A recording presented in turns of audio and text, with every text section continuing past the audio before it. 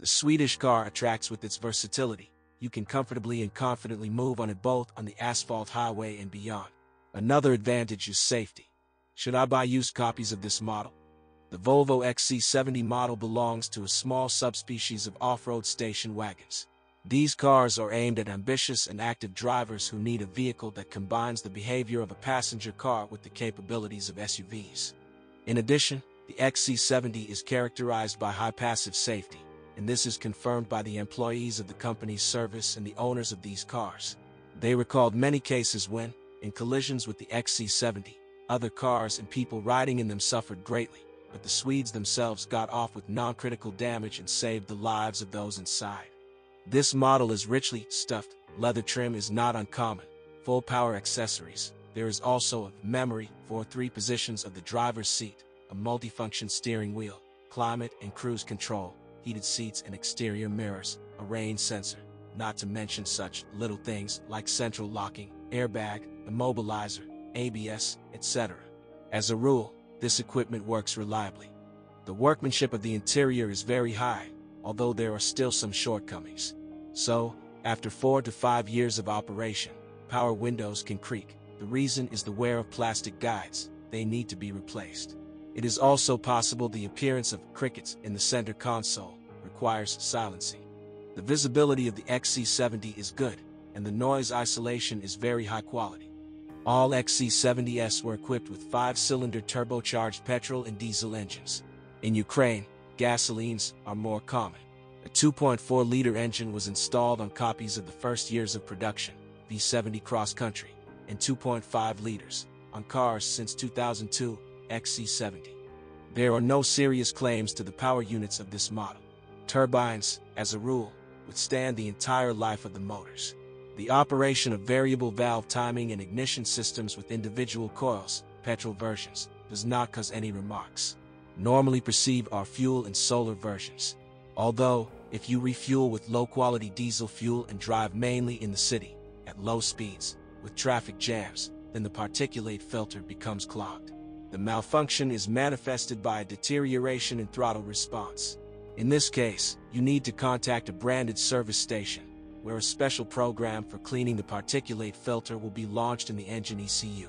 As a preventive measure, motorists are advised to periodically go to the track and give a good soot at high speeds. The cleaning program is activated automatically. In addition, if you change the oil and diesel engines according to the regulations, 20,000 kilometers, then over time, by 100,000 kilometers, rockers and hydraulic compensators become unusable. There is a malfunction of increased engine noise. In order to avoid problems, Minders advise reducing the oil change period in such engines to 10,000 kilometers. In 2.4-liter gasoline engines, airflow sensors and electronic throttle valves broke.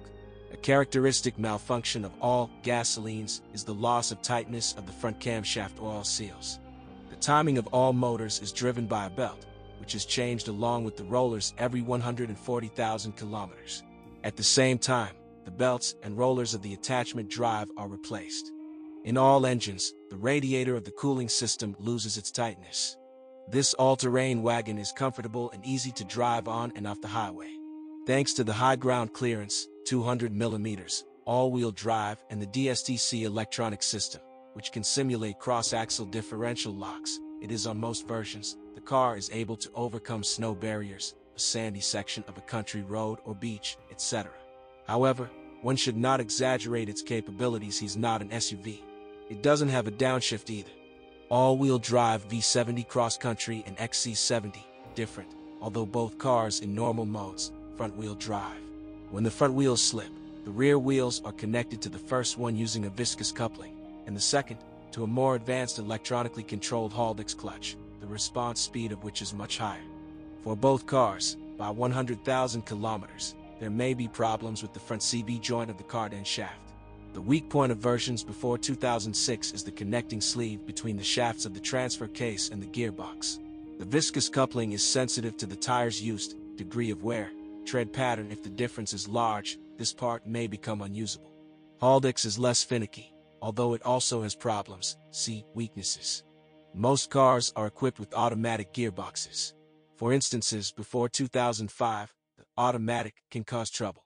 As a rule, they occur in active drivers. Failures of the hydraulic valve block are noted. There is a malfunction in shock gear shifting. Since 2005, they began to install a new, more reliable automatic transmission. The splines of the connecting sleeve between the shafts of the Razdatka and the gearbox are licked off, which is why the four-wheel drive does not turn on. After seven years of operation, problems with the exhaust system begin. The rear bank of the muffler is the first to surrender. The service life of the hydraulic silent blocks of the front levers on cars until 2006 is only 40 to 60,000 kilometers. The weak point of the Haldex coupling is pressure sensors, due to which the rear wheels are connected shock. In rare cases, the pump fails. The Swede suspension is moderately rigid and energy intensive, which allows you to confidently move both on rough roads and on a country road. Structurally, it is similar to a relative of the Volvo S60, in front, McPherson, in the back, multi-link.